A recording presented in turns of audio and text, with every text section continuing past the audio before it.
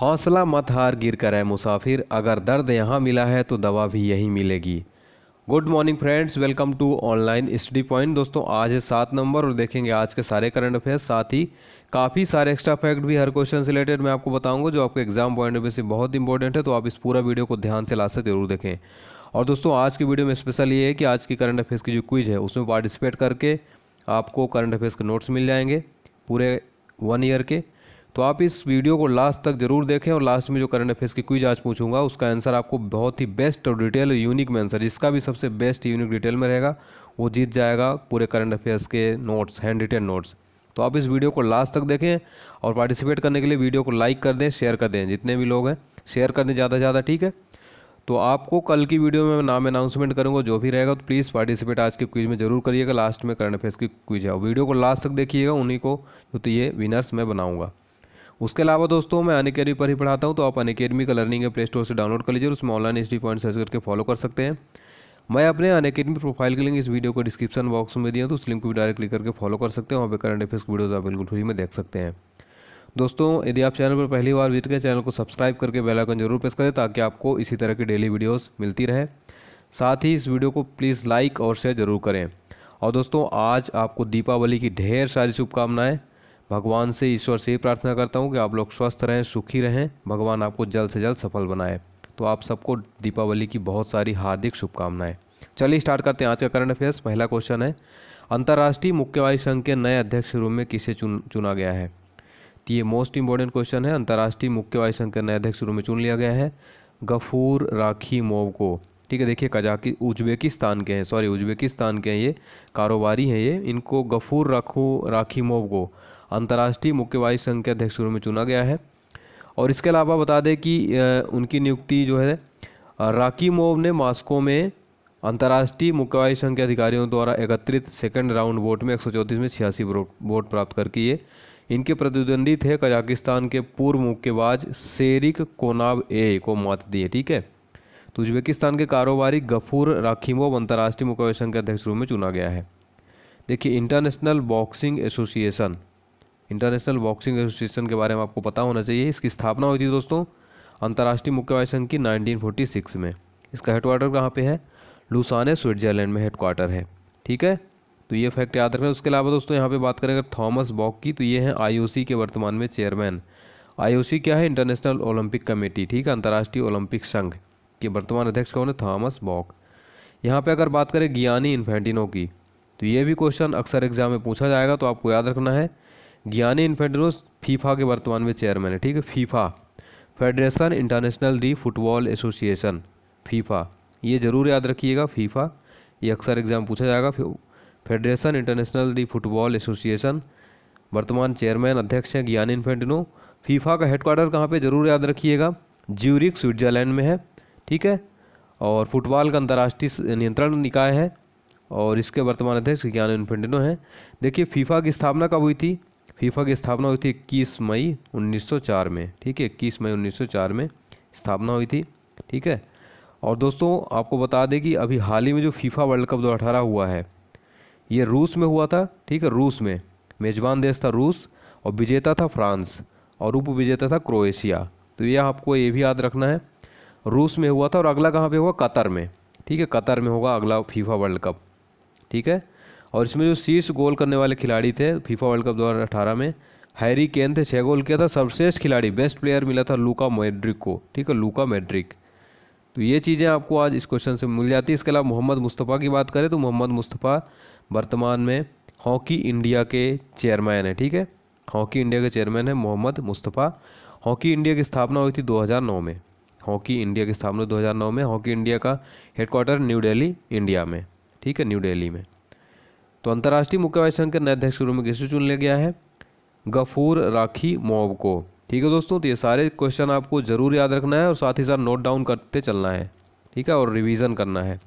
और दोस्तों please video पसंद आए प्लीज़ लाइक किया करें। काफ़ी सारी मेहनत लगी इसको टाइपिंग करके तैयार करने में आप लोग इस वीडियो को लाइक भी नहीं कर रहे हैं, ना शेयर कर रहे हैं। यदि आप चाहते हैं कि मैं वीडियोस कंटिन्यू रख पाऊँ, आप लोग, दोस्तों, बहुत कम लोग इसमें आजकल व्यूज़ आ रहे हैं। कंटिन्यू रखो प्लीज़ इस वीडियो को शेयर करें, ज़्यादा से ज़्यादा लोगों तक, ताकि तो आज आप चैनल को सपोर्ट ज़रूर करेंगे इस वीडियो को लाइक ज़रूर करेंगे। अगला क्वेश्चन है अमेरिका ने भारत चीन समेत कितने देशों को फ़िलहाल ईरान से तेल खरीदने की छूट प्रदान की है?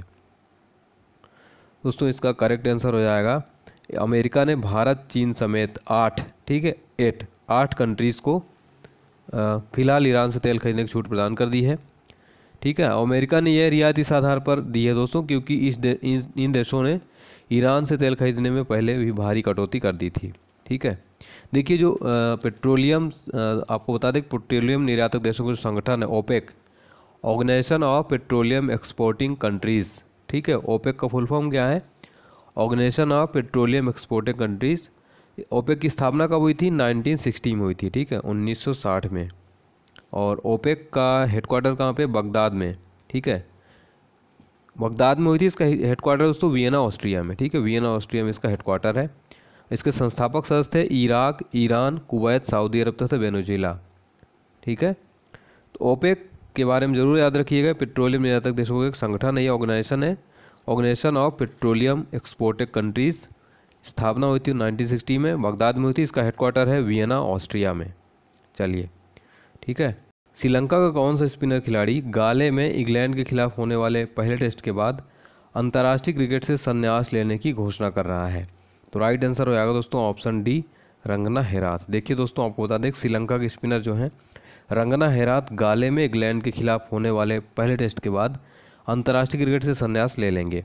और उनके संन्यास लेने के साथ ही बीसवीं सदी के में डेब्यू करने वाले कोई भी क्रिकेटर अंतर्राष्ट्रीय टेस्ट में खेलता नज़र नहीं आएगा। ठीक है? दोस्तों, यहाँ पे श्रीलंका की बात हो रही है, श्रीलंका के बता दें, श्रीलंका की जो एडमिनिस्ट्रेटिव राजधानी है, वो है श्री जयवर्धनापुर कोटे और कॉमर्शियल राजधानी वो है कोलंबो। श्रीलंका के वर्तमान प्रेसिडेंट कौन है? मैत्रीपाल सिरिसेना वर्तमान प्रेसिडेंट है। प्राइम मिनिस्टर अभी हाल ही में बनाए गए हैं महिंदा राजपक्षे, ठीक है? महिंदा राजपक्षे। तो ये ज़रूर याद रखिएगा, अभी हाल ही में प्राइम मिनिस्टर बने हैं, चर्चित है तो ये आपको याद रखना है। अगला क्वेश्चन देख लेते हैं। सूर्य तारों एवं वायुमंडल का प्राकृतिक रूप से निर्माण करने वाले कणों के अध्ययन हेतु, किस वेधशाला की स्थापना हेतु राष्ट्रीय हरित प्राधिकरण ने हाल ही में मंजूरी प्रदान की है? Neutrino, option B. देखिए, राष्ट्रीय हरित प्राधिकरण ने भारत स्थित न्यूट्रिनो वेधशाला की दो जाने वाली पर्यावरण संबंधी मंजूरी का सशर्त समर्थन कर दिया ठीक है? तो इसका करेक्ट आंसर हो जाएगा, ऑप्शन बी, न्यूट्रिनो। ठीक है? तो सूर्य तारों में वायुमंडल का प्राकृतिक रूप से निर्माण करने वाले कणों के अध्ययन हेतु किस वेधशाला की स्थापना हेतु राष्ट्रीय हरित प्राधिकरण ने हाल ही में मंजूरी प्रदान कर दी है? न्यूट्रिनो क्वेश्चन नंबर फाइव देख लेते हैं। हाल ही में खाद्य प्रसंस्करण उद्योग मंत्रालय द्वारा किस ऑपरेशन के लिए संचालन संबंधी उपायों को मंजूरी दी गई है?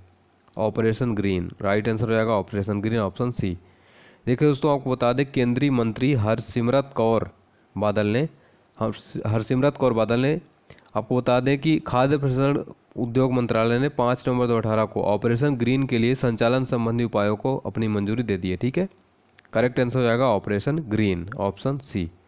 Question number fifth है, हाल ही में भारत की किस परमाणु पनडुब्बी ने सफलतापूर्वक अपना पहला गश्ती अभियान पूरा किया है? INS Arihant, option C. देखिए, भारत की सामरिक परमाणु पनडुब्बी, अर्थात न्यूक्लियर पनडुब्बी आईएनएस अरिहंत ने पाँच नवंबर दो अठारह को अपना पहला गश्ती अभियान सफलतापूर्वक जो है, पूरा कर लिया है। ठीक है? करेक्ट आंसर हो जाएगा इसका ऑप्शन सी आईएनएस अरिहंत अगला क्वेश्चन देख लेते हैं। केंद्रीय कैबिनेट ने आपराधिक मामलों पर कानूनी सहयोग के लिए भारत और किस देश के बीच समझौते को मंजूरी दी है? करेक्ट आंसर हो जाएगा इसका ऑप्शन है मोरक्को ठीक है? देखिए दोस्तों, केंद्रीय कैबिनेट ने आपराधिक मामलों पर कानूनी सहयोग के लिए भारत मोरक्को के बीच समझौते को मंजूरी दे दी है। इस कैबिनेट की बैठक की अध्यक्षता प्रधानमंत्री मोदी जी द्वारा की गई थी। दोस्तों, मोरक्को की बात करें तो आपको बता दें कि मोरक्को जो है, राजशाही उत्तरी अफ्रीका का एक देश है, ठीक है? और उत्तरी अफ्रीका में रोमन प्रांत में रहे इस प्रदेश में मध्यकाल में एक अफ्रीकी मूल वंश का शासन रहा, जिस पर इस्लामिक प्रभाव दसवीं सदी से पड़ता गया। मोरक्को की राजधानी क्या है? रबात है। और मोरक्को की मुद्रा क्या है? Moroccan dirham. तो ये आपको याद रखना है। और बात करें अगर मोरक्को के प्राइम मिनिस्टर की तो ये हैं सद्देदाइन ओथमनी, ठीक है? सद्देदाइन ओथमनी। तो मोरक्को की राजधानी क्या? रबात। केंद्रीय कैबिनेट ने आपराधिक मामलों पर कानूनी सहयोग के लिए भारत और किस देश के बीच समझौते को मंजूरी दी है? मोरक्को के बीच। किस राज्य सरकार ने हाल ही में एरोस्पेस तथा रक्षा निर्माण नीति दो हज़ार उन्नीस लॉन्च किया है? इसका करेक्ट आंसर हो जाएगा ऑप्शन सी, ओडिशा। ओडिशा सरकार, ओडिशा गवर्नमेंट, ऑप्शन सी। देखिए दोस्तों, ओडिशा गवर्नमेंट ने हाल ही में एरोस्पेस तथा रक्षा निर्माण नीति दो लॉन्च किया है और इस नीति के तहत पहले तीन ओरिजिनल इक्विपमेंट मैन्युफैक्चरर को न्यूनतम एक हज़ार करोड़ रुपए के निवेश तथा एक एक हज़ार स्थानीय लोगों को रोज़गार उपलब्ध करवाने के लिए सौ करोड़ रुपए की पूंजीगत रियायत भी प्रदान की जाएगी। ठीक है, ओडिशा गवर्नमेंट।